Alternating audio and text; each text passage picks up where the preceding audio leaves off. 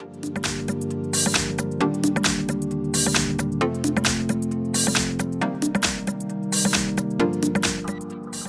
Hi everyone, here we've got Oukitel WP5 and let me share with you how to check IMEI and serial number of this device. So actually we've got two different ways to check those unique numbers. The first one, the shortest one, is using the secret code and the second is using the settings. I will show you that both of them are quite important. So let's begin with the phone dialer I mean the secret code, so let's open the phone dialer, tap on the keypad and let me enter the code which is asterisk pound 06 pound.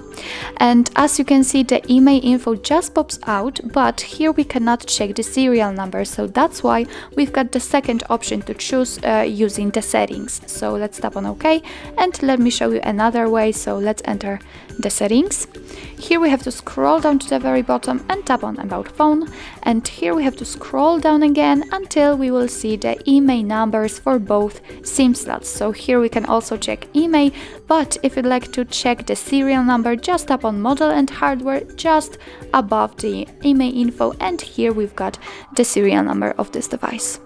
So actually that's all. This is how to check IMEI and serial number in your Oukitel WP5.